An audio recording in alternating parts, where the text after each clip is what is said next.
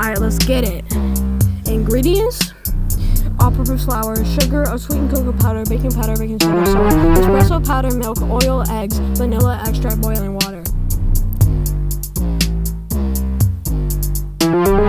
With dry ingredients, add flour, sugar, cocoa powder, baking powder, baking soda, and salt, and espresso powder into a large bowl with a bowl of a stand mixer.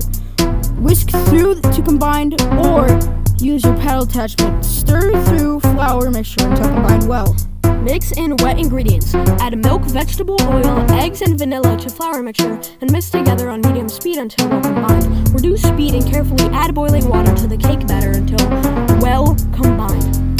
Distribute cake batter evenly between the two prepared cake pans. Bake for 30 to 35 minutes until toothpick or cake tester inserted to the middle of the chocolate cake comes out clean. And shout out addapinch.com.